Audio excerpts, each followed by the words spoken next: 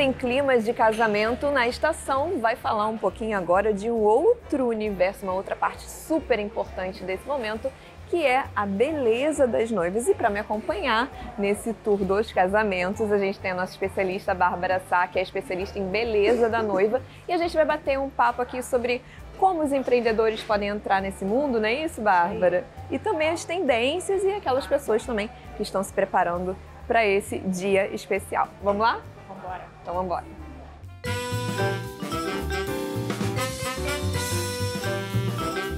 Para entender um pouquinho dessa maquiagem, né, a gente vai falar com quem fez, que é o Robson, que é o especialista em noivos aqui do RM. Robson, conta pra gente o que, que é importante quando a gente pensa tanto naquele empreendedor que quer entrar no mundo do casamento, quanto na noiva também quando procura um profissional. Como é que você enxerga esse mercado? É um mercado promissor? Então vamos em parte. O mercado de noivas é promissor sim, porque ele se subdivide em nichos como você acabou de falar, para quem entra nesse mercado. Eu falo que as pessoas têm que entrar primeiro pela produção de madrinhas, ensaios corporativos, para ir galgando essa estratégia de marketing e conhecimento para você chegar nas noivas. Porque noiva você tem que trabalhar com precificação, contrato, um atendimento diferenciado, como eu mostrei para você. Estamos de frente para a praia e eu fiz uma técnica de maquiagem inspirada em noivas que casam na praia como tem noivas que casam em casas de festa, hoje alugam casas no Joá para fazer casamento. Então você também tem que ir vendo qual vai ser o nicho que você vai querer. Se é só noiva, como tem a minha colega de profissão, que ela atende especificamente noivas. Eu atendo noivas e também atendo o grupo que é madrinhas, ou atendo formandas, corporativo, e eu tenho um nicho um pouco aberto, mas já está se afunilando para ficar só com noivas novamente. E Bárbara, dentro desse mercado de casamento, né? Vocês acabam se conhecendo, porque quando você fala de um casamento, a gente tem a noiva, a gente tem a madrinha, a gente tem várias outras pessoas, às vezes, que querem maquiar junto, querem participar daquele momento junto com a noiva, né? Quando vocês pensam assim, ah, nossa, fechei um casamento por, porque a noiva me escolheu. É importante ter um networking forte para você chamar aquele profissional que conversa com seu estilo de maquiagem, que vai entregar um trabalho de qualidade também? Muito importante hoje é, estamos aqui para isso, né? A gente já se conheceu, provavelmente daqui eu e o Robson vai sair bastante trabalho juntos.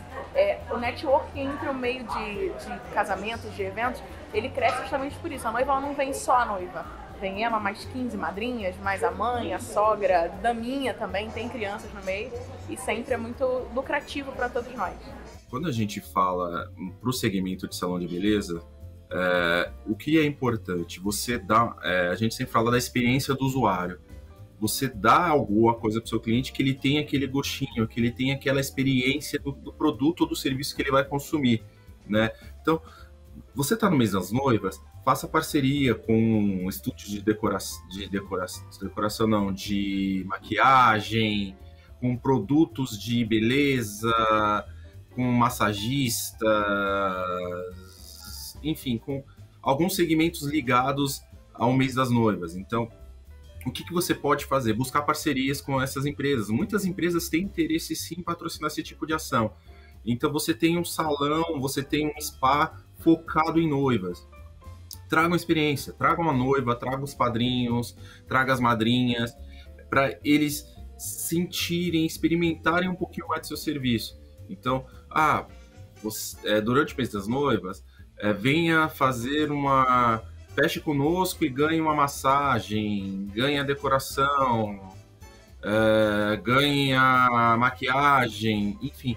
É importante você oferecer algo em troca, né? Você dar uma experiência para o seu cliente, para ele sentir um gostinho. Então, quando a gente está falando de salão de beleza e está falando nesse segmento, as pessoas elas querem sim ter algo em troca. Às vezes elas vão mais pela confiança, elas vão pelo nome. Se você é uma pessoa que está começando agora, oferte algo, oferte uma degustação, oferte uma experiência do seu produto para esse cliente.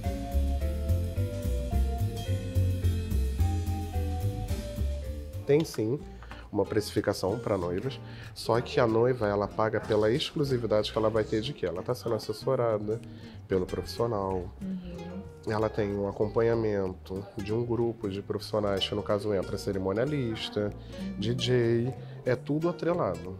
Quando eu pego o serviço de uma noiva e fecho um contrato, eu entro em contato com quem vai fazer as, as fotos, quem vai fazer a filmagem. Ah, legal. Porque a gente precisa deixar tudo Alinhado, cronometrado. né? É. Porque eu tenho que chegar no horário, eu preciso entregar junto com o fotógrafo um- uma produção perfeita, com o videomaker uma produção perfeita. Muito a cerimonialista legal. vai falar pra mim: ah, o marido vai fazer a entrega do buquê, ah, o marido vai entregar uma joia. Então a gente precisa estar com isso tudo amarrado Alinhado, né?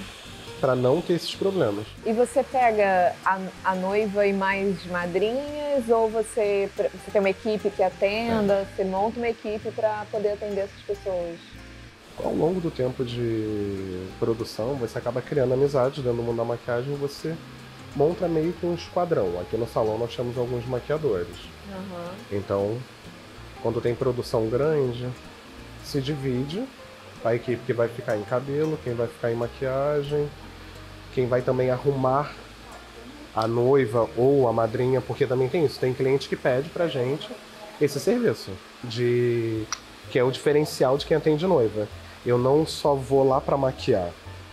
É o que eu falo da precificação. Tem esse diferencial porque eu arrumo a noiva, tem a parte do da prévia, que no contrato já é descrito o dia que vai ser a prévia, como eu já tive clientes que não quiseram fazer prévia, que viram meu trabalho no Instagram e Já falaram, sabiam não, qual que queria, né? não precisa, porque eu já vi seu trabalho, só que eu sempre prefiro ter a prévia, porque a prévia vai me dar uma assertividade e mais base no que eu vou falar para minha cliente, porque eu posso muito bem chegar no dia, ela ver uma edição de uma foto ou um vídeo e não ser a mesma coisa que ela vai ter no dia.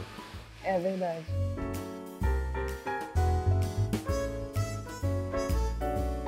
Gostar muito, você tem que gostar muito do que você faz. Porque realmente é você ter um jogo de cintura emocional. Porque nós temos que ter, porque tudo acontece. No dia do casamento tudo acontece. É o que que, que não chega, é alguma coisa madrinha. Madrinha então, né? Madrinha é o, Nossa. é, o, é a melhor A coisa madrinha que acontece pra é o calcanhar de É Aquiles das noivas. É aquela que cria, Eu tô com medo, assim, um- sabe? Cria uma um certo medo na hora de, de escolher as minhas madrinhas. Eu tô assim, meu Deus do céu. Tem aquela madrinha que Essas cria uma histórias. brincadeira no meio do atendimento que a gente não sabe. Que tipo, uma surpresa, que acordou com o noivo e não avisou a gente. A E eu finalizei. Aí a noiva chora. Aí transfere a maquiagem, dependendo da parte que você tiver. Você tem que contornar isso. E aí? E no final a culpa é do maquiador. Ah, sempre vai ser. Sempre vai ser o nosso. Quando você faz um planejamento do seu negócio, você tem que entender bastante seu público, você tem que entender bastante qual que é o diferencial do seu serviço, como que o seu serviço vai impactar, como que ele vai causar emoção no seu cliente. Porque, imagina, hoje a gente tem, é, quando a gente fala de noivas, aqui a gente existe ruas, bairros focados que são salões e estúdios de noivas que são iguais. O que, que diferencia um do outro? Ou é preço, ou é condição, ou é experiência, ou é o nome do designer, do, do estilista. O que, que leva uma empresa a se diferenciar da outra? E quando você faz um planejamento, você tem que focar no que é melhor para sua empresa, o que, que você se diferencia do seu concorrente, como que você vai divulgar isso, qual que é o tempo que isso daqui, que essa campanha vai ter. Então, o planejamento é importante para te dar um norte e para que você mensure se o que você fez no ano passado, por exemplo, deu resultado. Se não fez, o que você pode fazer esse ano de diferente que dê resultado, que dê resultado e que te possa ter retorno. Porque quando a gente fala de planejamento de marketing digital, a gente acaba focando na venda. O que, que me deu retorno, o que, que não me deu retorno, o que, que deu certo, o que, que não deu certo, qual foi o público que engajou mais com essa publicação. Então, o planejamento hoje ele te dá um norte para qualquer tipo de campanha, não só sazonais, mas qualquer campanha que você queira vender e ter resultado.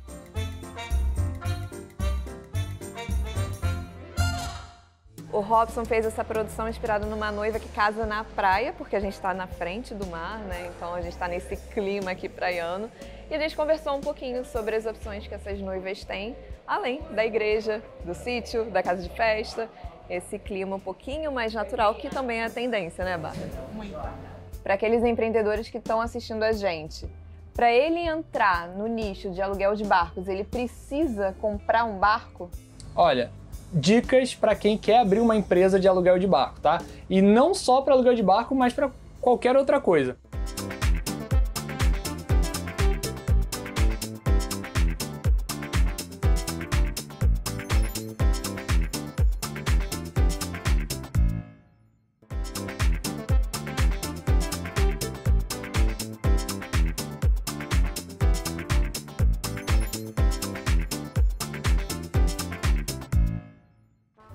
Casamento e não falar de despedida de solteiro, não dá. Então, a gente vai mostrar como é esse momento também. A Bárbara, nossa especialista, também para me acompanhar nessa parte do programa que a gente está literalmente embarcando nesse universo. E o Bruno, que vai apresentar aqui a embarcação, como eles fazem, como eles se preparam. Bruno, você vê um crescimento também dessa procura para despedida de solteiro? Claro, pelos termos de procura do Google, já está no top 3 das mais pesquisadas, junto com a palavra aluguel de barcos, nas palavras-chave. Bárbara, o empreendedor vê esse nicho, né? Que a gente pensa assim, ah, às vezes a pessoa que tem um barco é, não, não, tem noção de quantas coisas legais ela pode explorar, né? É um nicho também que ele pode embarcar? Sim, com certeza. As pessoas estão né, na despedida de, fazendo despedida de solteiros e procurando inovar. E a gente no Rio de Janeiro não tem um passeio, uma, uma festa melhor do que num barco. Como é que tá a procura? Vocês fazem quantas despedidas por mês? Como é que é isso para vocês? Olha, principalmente do ano de 2021 para cá, virou uma tendência muito grande fazer despedida de solteira no barco, que é onde o pessoal pode ficar mais à vontade, curte. Então, por exemplo, se a gente está aqui numa embarcação 50 pés, que é super completa, tem churrasqueira, onde pode ser questão de buffet, de comida, tem área para poder fazer drinks, trazer um barman. Então o barco ele traz um leque de possibilidade muito legal. Ainda mais junto com a parada para mergulho. Então, assim, é um trunfo muito grande para quem quer fazer uma coisa diferente na despedida de solteira.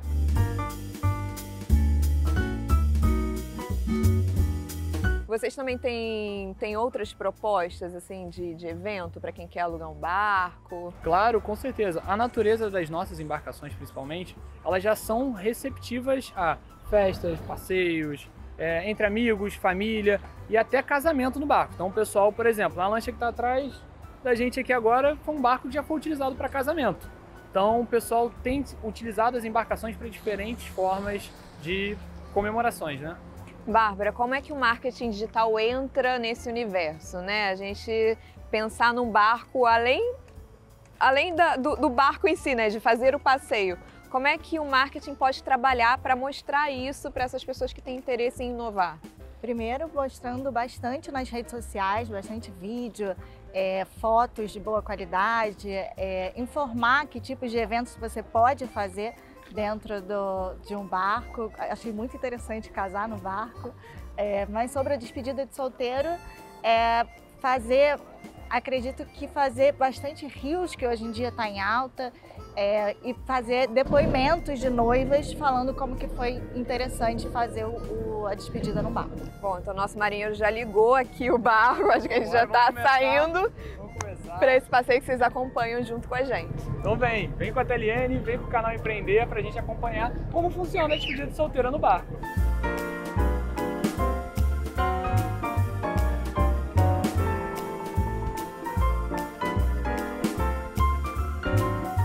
Quando a gente está falando de despedida de solteiro, a gente fala de uma experiência, que é algo único, né? Então, quando a gente pensa em despedida de solteiro, normalmente a gente pensa em balada, a gente pensa em festas, é, e o barco é algo inovador.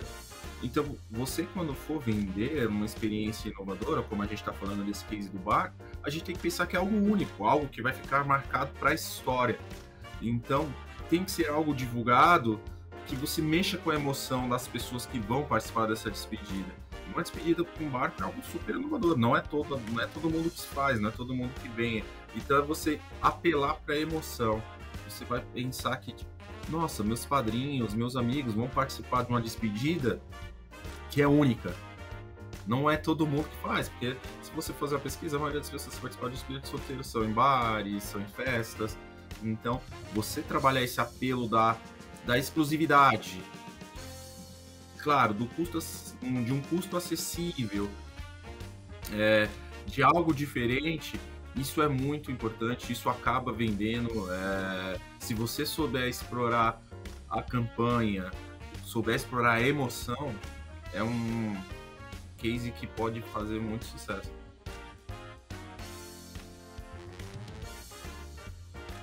A gente vê também o crescimento dos mini weddings, né, Bárbara? E assim, um barco, nada melhor do que um mini wedding. A gente tá num barco que não é tão pequeno. Quantas pessoas cabem aqui? É, essa é uma embarcação de 50 pés, né? Tem dois motores, é um barco que navega muito bem e até 20 passageiros. Então o pessoal tem muito conforto nessa embarcação para poder curtir.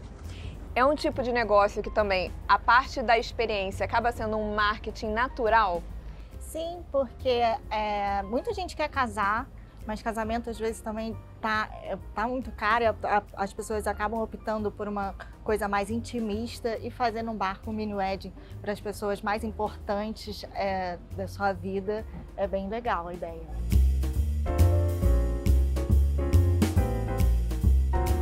Bruno, eu, eu tô achando incrível a, como você lida com o marketing, como que você, você falou sobre o marketing de indicação, que é sempre o melhor, apesar do hoje é tudo ser muito digital, o buzz marketing que a gente chama, que é o marketing boca a boca, é sempre o principal. Eu fiquei com uma dúvida. Para você ter uma experiência boa, já que você fala que a, a sua a, a sua maior venda é no digital, você oferece um fotógrafo para que essa, isso seja registrado, ou se a pessoa quiser trazer, ela conta como um convidado pra, dentro dessa despedida? Como funciona? Claro, isso é uma dúvida frequente, a gente recebe ela o tempo todo. É interessante a gente abordar isso aqui na nossa entrevista. A, a embarcação, por exemplo, vou usar essa como exemplo que a gente está aqui agora. A Telenestov ela tem uma capacidade para até 20 passageiros. Para a capitania do esporte, qualquer vida conta como passageiro. Então, seja um bebê, criança, adulto, idoso, todo mundo conta como passageiro na embarcação. Então, se você for trazer uma pessoa a mais para trabalhar, a gente sempre informa isso ao cliente já previamente. Inclusive, a gente manda uma confirmação de reserva com todas as especificações da embarcação, do que tem que ter seguido, justamente para chegar para curtir, né? Então, por exemplo, contratando um fotógrafo, ah, um barman, mixologista, e até mesmo um churrasqueiro profissional. Às vezes o cliente opta para ter não ser um marinheiro fazendo churrasco, ele quer contratar um churrasqueiro profissional que vai fazer carpaccio de Denver steak, que vai fazer malabarismo ali com as carnes, né? Então eles contam como três passageiros. Aí o cliente teria 17 no total para poder trazer. Bruno, a gente tem possibilidade de roteiro? A gente está falando do Rio de Janeiro, tem algumas muitas paisagens bonitas que a gente pode explorar, né? Vocês dão esse leque de opções? Claro, até a gente brinca aqui que aqui é um papel de parede, né? Você vem para curtir a embarcação, um barco super instagramável e ainda aproveita um baita de um papel de, papel de parede como a gente está. A gente está agora na enseada da Marina da Glória, que é um local mais tranquilo para a gente poder fazer a gravação, né? Mas os passeios, eles ocorrem geralmente Praia Vermelha e Urca, um dos mais buscados. Aí o pessoal geralmente fala, poxa, o carioca, né? O carioca principalmente mas eu vou alugar um barco, vou passear na Praia Vermelha e na Urca. Eu falo, olha, pode confiar em mim que é totalmente diferente do que curtir na areia. É um outro ângulo, literalmente. Né? Quando o pessoal chega lá, tem um ponte, os barcos parados, o pessoal pô, pode curtir a borda aqui com a sua galera, algo mais intimista, o pessoal gosta demais, demais mesmo.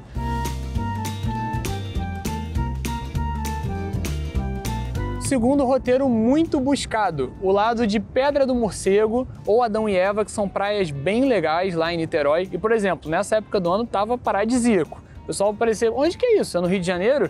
Então o pessoal também estava fazendo essa opção.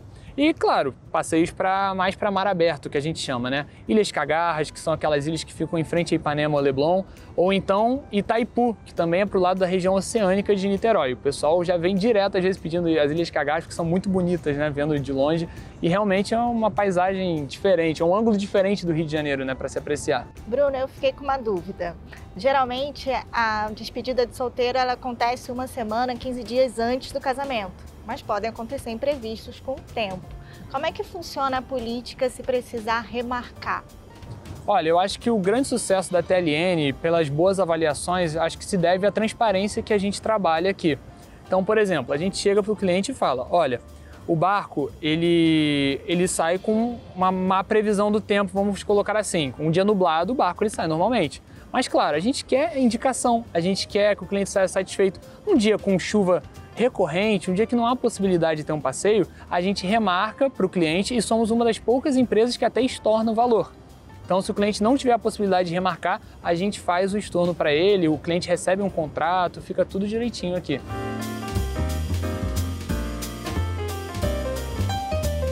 Ainda falando sobre a experiência e na visão do marketing, né? É, ter influenciadores e pessoas famosas, atores, músicos, vindo para cá e tendo uma experiência dessa, é uma estratégia porque a gente sabe que ajuda, mas ao mesmo tempo a gente está falando de um passeio, de uma experiência que já tem uma cara de caro, é. né? Como é que concilia isso, Bárbara? É, uma pessoa comum já falando, de, de, o, indicando já é super interessante. Um famoso, um, um influenciador, ele óbvio vai trazer mais visibilidade para sua página, mas tem que ter cuidado também é, com o número de seguidores que ele tem, qual é o público dele, para você não ficar nichado para classe A apenas. Então, é, ou diversificar esses influenciadores, um micro influenciador, um famoso é, é maior, pode ser mais interessante para que você atinja todos esses públicos é muito importante estar nas redes sociais. Hoje a rede social ela é o maior canal de vendas do país. Tem pesquisas que mostram que de cada 10, pelo menos 8 já fizeram algum tipo de compras através de rede social ou da internet. Né? Hoje a rede social ela é o seu cartão de visita. Antes as pessoas entregavam cartãozinho de visita, o catálogo, o flyer, o folder. Hoje não. A primeira coisa que elas passam são suas redes sociais vou voltar a falar um pouquinho das noivas, né? Que é um tema que mexe com a emoção, que mexe com a com o sentimento de quem está comprando esse tipo de serviço, que é algo único, né? A rede social ela te traz a validação, ela te traz a homologação de que aquele serviço, de que aquele produto ele é de qualidade, né? Aí a gente vai falar um pouco dos influencers. O que, que os influencers fazem? Eles validam aquele serviço, eles validam aqueles produtos, eles nada mais comprovam do que o seu, do que é o seu serviço ou do que o seu produto, ele sim funciona, ele sim é de qualidade. A rede social para uma data sazonal é muito importante. Se você não fizer não fizer nenhuma ação na rede social nessa data sazonal, a chance de você é, fracassar é muito alta.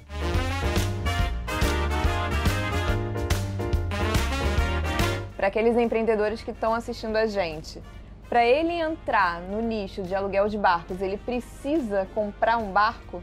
Olha, dicas para quem quer abrir uma empresa de aluguel de barco, tá? E não só para aluguel de barco, mas para qualquer outra coisa. Como a gente vive num mundo muito digital, a primeira coisa é começar a se informar e, de fato, fazer cursos e estudar bastante a área do marketing digital, que é super importante, né? Tanto marketing, remarketing, marketing por indicação, isso tudo em qualquer área. A segunda dica estude bastante sobre as embarcações e sobre serviço a bordo. Eu acho que o que fez a nossa empresa ser referência é o serviço, é como o cliente é tratado e, assim, todo cliente é importante. Todo cliente a gente chama de família. Então é muito importante trazer o cliente para si, aprender a vender, mas também compreender o seu cliente, entender o que ele quer, o que ele precisa. É, você tem que entender que você está fazendo uma venda, mas às vezes você pode estar, no nosso caso, por exemplo, realizando um sonho. Pode ser o primeiro passeio de barco da vida dele, pode ser um aniversário de 40 anos, pode ser um casamento. Então, essas são as minhas dicas. Se informem bastante na parte do marketing digital. Não precisa. A gente até brinca, a gente começou sem embarcação própria. Hoje em dia a gente tem as nossas embarcações próprias na empresa para agregar ainda mais valor, mas a gente trabalha no modelo híbrido. Então, se você é dono de barco e quer colocar o barco na nossa empresa, a gente vai lá, marca uma visita na embarcação e passa uma série de recomendações. E a grande maioria não é aprovado. Mas os barcos que a gente aprova, eles passam aqui para o nosso catálogo e ficam aqui anunciados na nossa empresa. Eu acho que um grande desafio desse, desse nicho, Bárbara, seria a fidelização, né? Fazer esse cliente voltar. É, a gente não tem uma cultura tão forte assim de na verdade, agora está crescendo, né? Como a gente já conversou, uhum. mas não é tão, tão comum do senso comum que alugar o barco é uma coisa acessível, que dá, que fica mais barato às vezes do que você almoçar ou jantar no restaurante que você escolheria naturalmente. Como o marketing entra nesse processo de fazer o, o, o, cliente voltar a comemorar de novo um aniversário, fez a despedida de solteiro, ah, mas eu quero fazer aniversário da minha filha, eu quero fazer uma outra comemoração. Como é que esse empreendedor tem que pensar para que esse cliente volte? Luiz, é exatamente como o Bruno já pensa, é tratar o cliente como especial, como único e fazer dele a, aquela experiência perfeita, maravilhosa, para que ele sempre queira fazer novas experiências no barco dele e que indique para outras pessoas que a experiência dele foi sensacional. E o Bruno já faz isso perfeitamente.